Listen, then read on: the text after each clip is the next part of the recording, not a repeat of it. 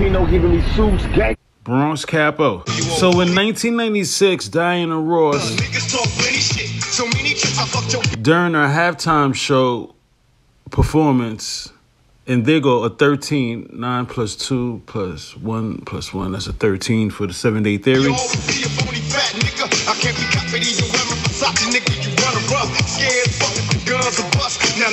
Thank you for tapping in this live premiere. I want to talk about Diana Ross leaving in the helicopter Super Bowl 1996, Super Bowl 30.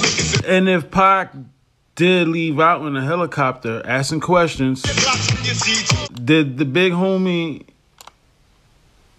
get the idea from Diana Ross? The fact that Diana Ross switched out in her outfit. As you can see, she has on an outfit. She even switches outfits. Now here comes the helicopter. This shit crazy.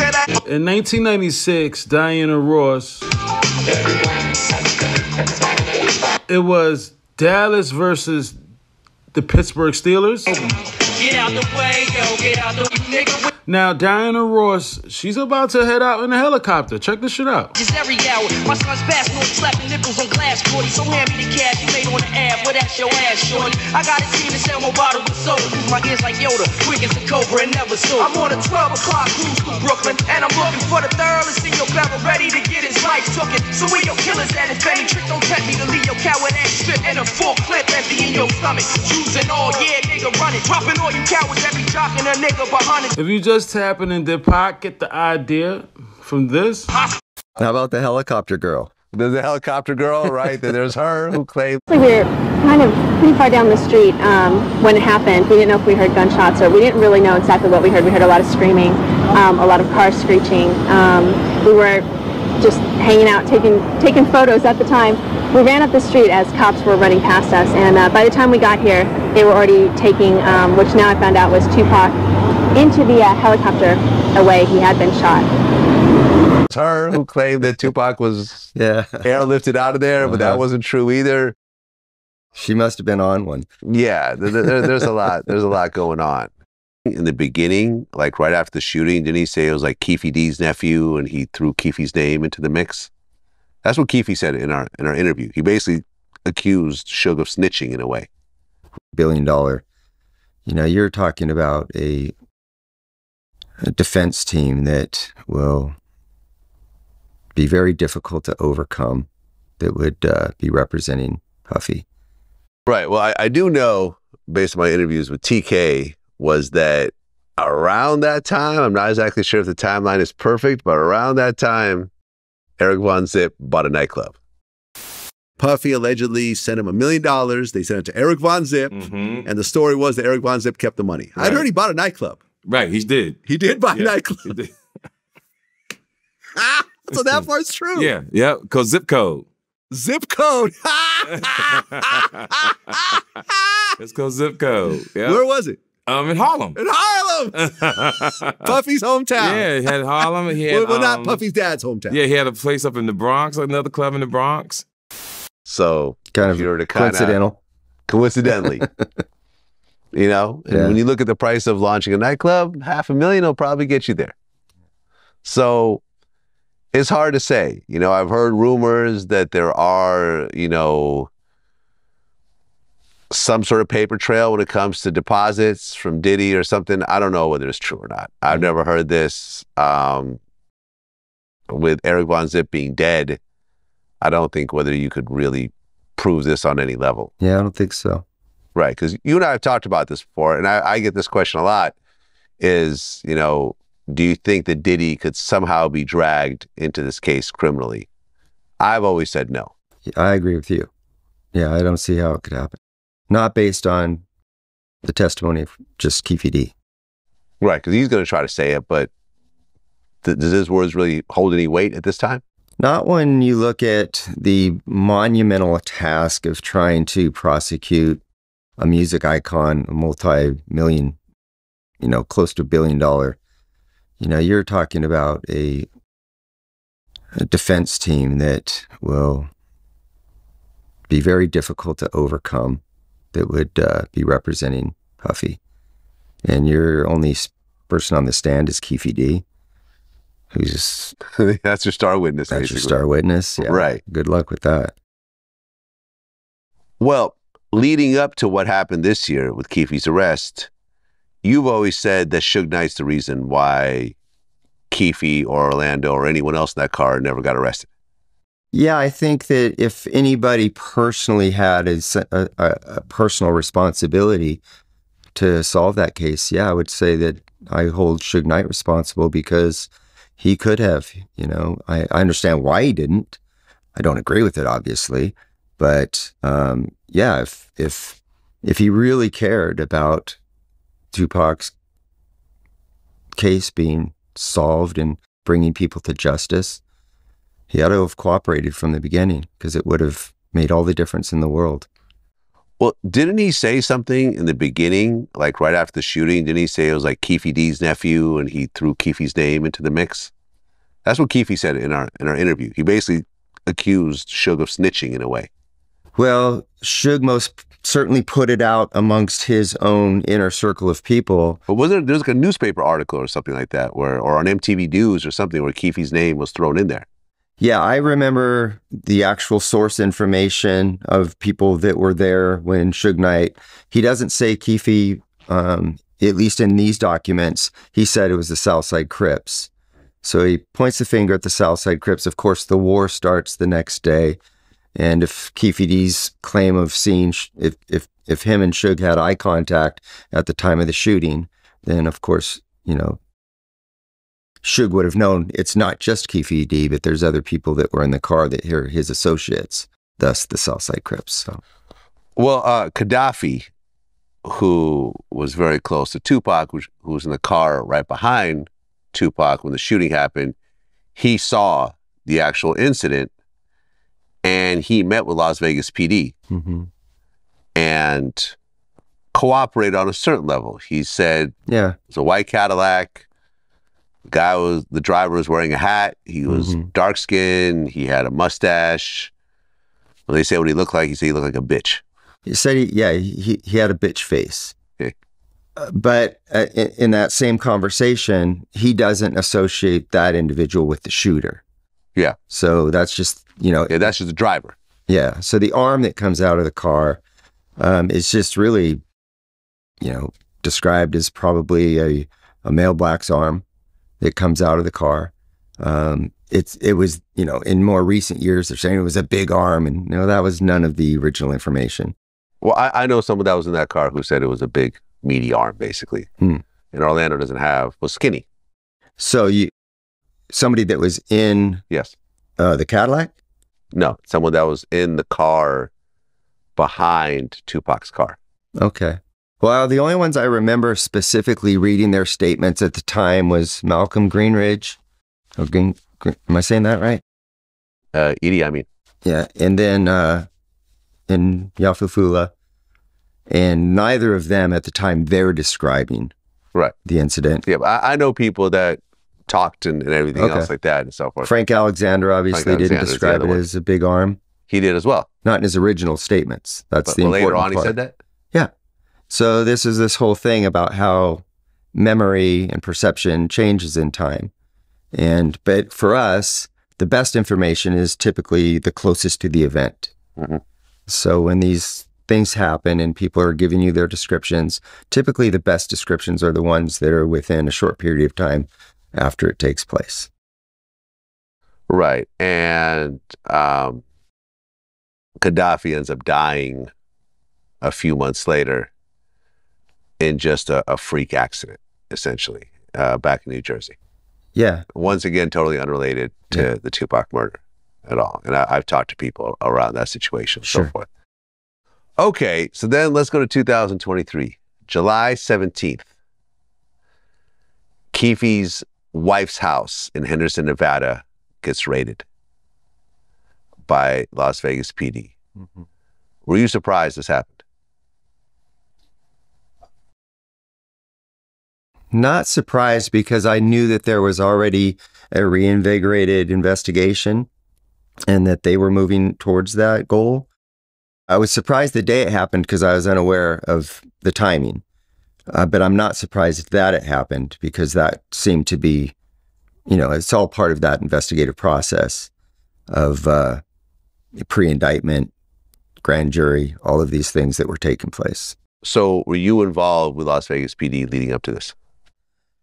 Involved in the extent that I was helping to provide some information from our case, just trying to bring them up to speed on anything that had taken place. Um, you know, I'm involved, Darren Dupree's involved. I think Mike Dorsey is leading this charge to try to get people to put pressure on Las Vegas. So there was a collective effort um, for everybody to try to work together. But I'm not wasn't involved as far as doing any investigative work.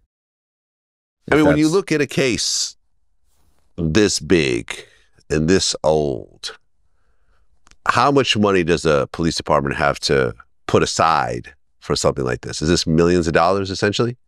It really depends on what extent they investigated Keefe. If they were doing wiretaps and that type of thing, that starts getting really expensive.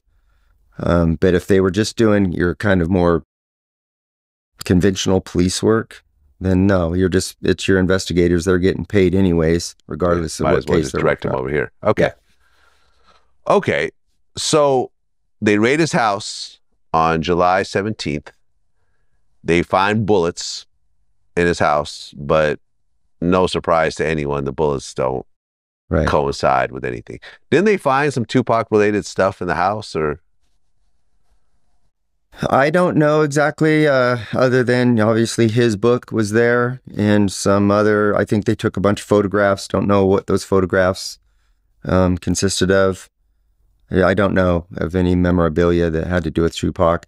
I do know at the time that he, the car that he was driving back in 1996, which was that black SS Impala, that had a Tupac CD in the trunk when they Okay. when they you know so here they've just got done shooting Tupac and now they've got his music in the car still the day that they impound his vehicle. wow. Yeah. Okay. Uh, that's that's kind of dark. July 17th, the house gets raided. Three and a half months later, September 29th, Keefe gets arrested in Las Vegas. Right. Between that time is when the grand jury is happening. Are you involved in the grand jury? No, not directly. Okay. I know some people that are involved in the grand Yeah. jury. They actually were calling me. They called me like a dozen times. Uh, I just ignored their phone calls. hmm ultimately they had to start leaving voicemails and they basically said they wanted all my raw footage Hmm. the interviews but i just chose not to cooperate from my point of view my goal was not to put Keefe in prison it was to get the real story out and also if someone sits down and interviews with me i'm not going to turn around and then use that interview to try to put them in jail regardless of whether i agree with them or don't agree with them Mhm. that's just my own rules that I abide by. You know what I'm saying? So, and on top of that, there was really no raw footage to be had. If you know my interviews, we essentially put out everything, unless the person coughs or has to go to the bathroom or whatever Yeah. else. Like we don't, we're not cutting out, you know, important parts. It was all there. And you know, before, in between that time, between the raid and the arrest, Keefe reaches out to me and wants to do a third interview. And uh, but this time he wants to deposit because I paid him for the other two interviews. Okay. But this time he wants to deposit. And I'm like, okay, I know where this is going. I'm going to give him a deposit. And he's going to get arrested.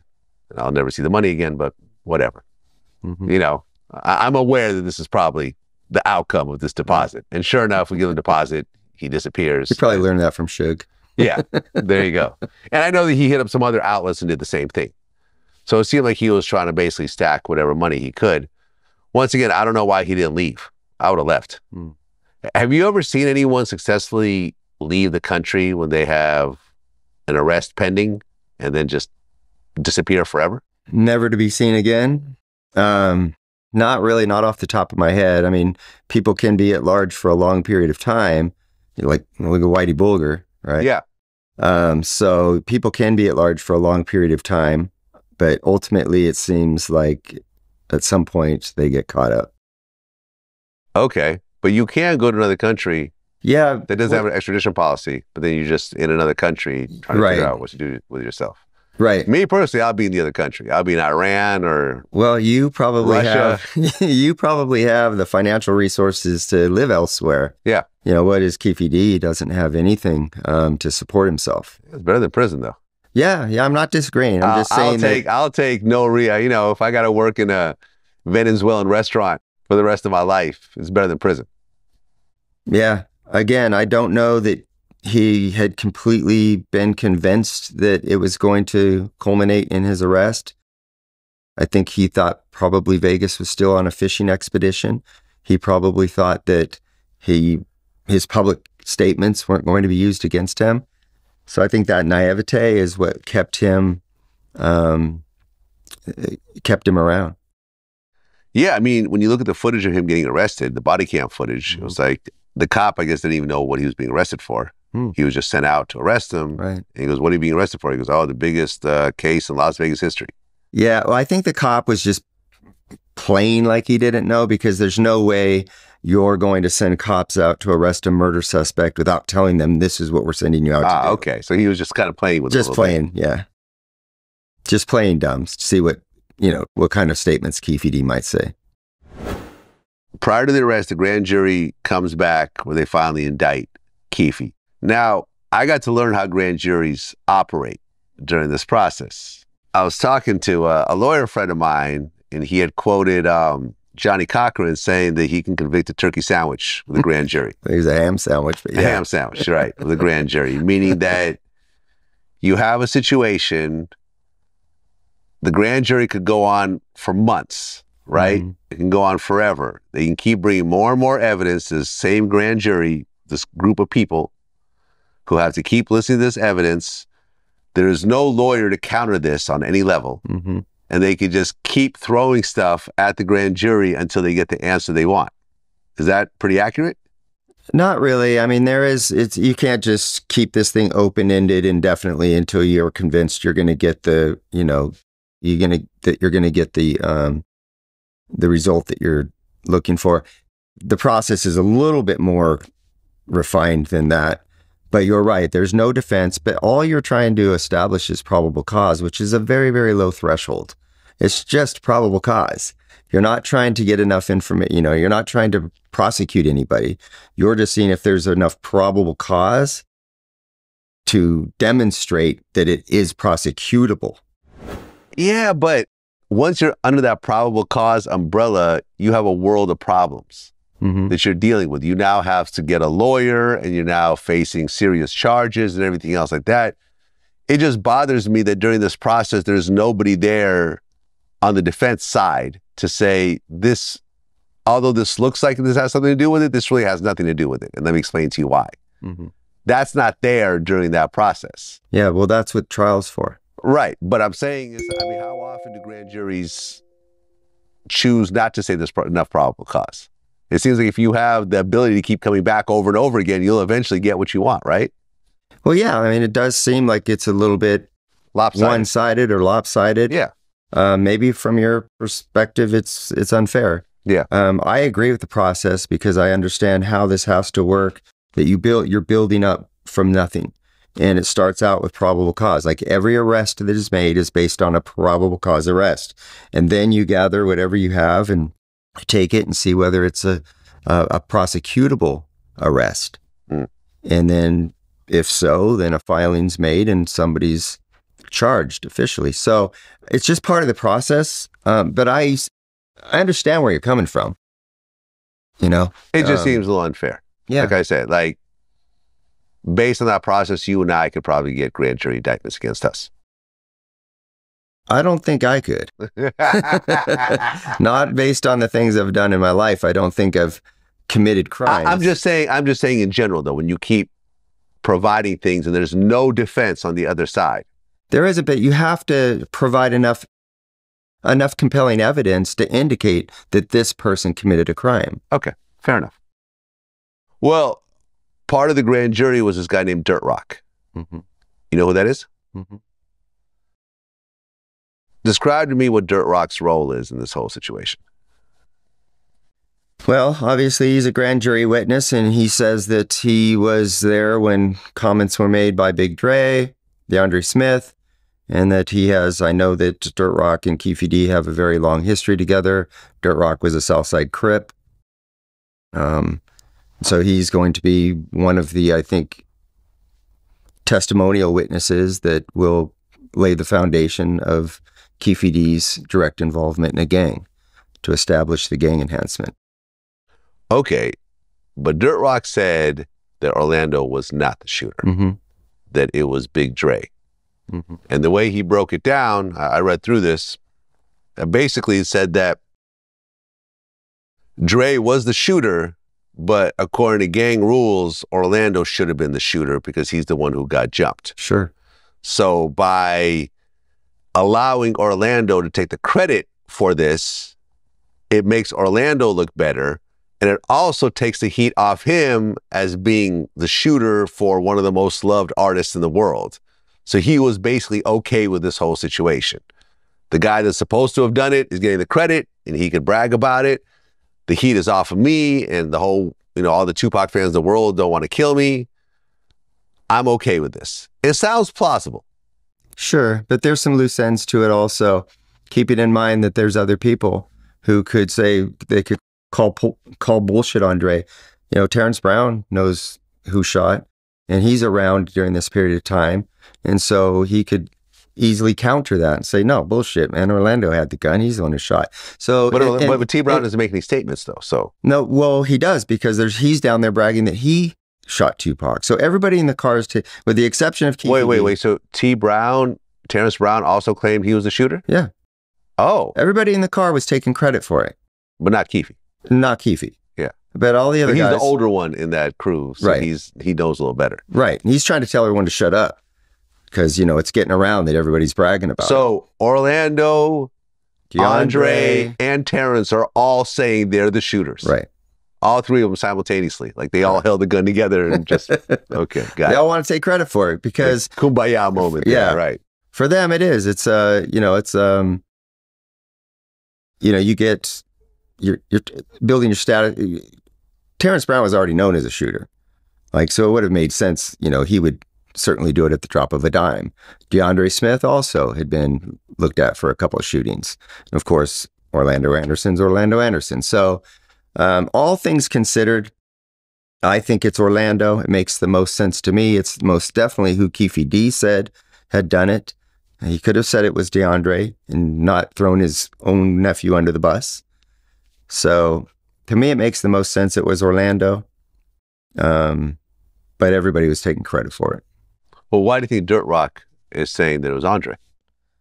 Well, because DeAndre may have said the same thing that Terrence was saying and, you know, bragging about it. Oh, so this is just because it's- Dirt Rock wasn't there.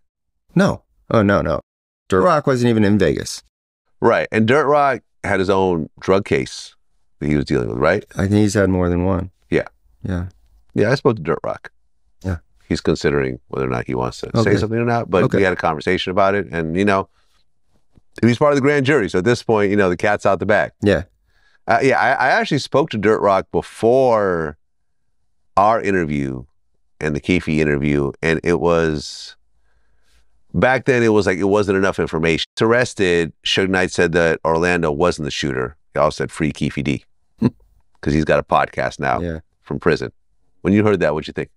About him having a podcast? Well, about him saying Orlando wasn't the shooter. Oh, nothing that ever comes out of Suge Knight's mouth, it just, it just dissipates into the, you know, the stratosphere. Not throwing his own nephew under the bus. So, to me, it makes the most sense. It was Orlando. Um,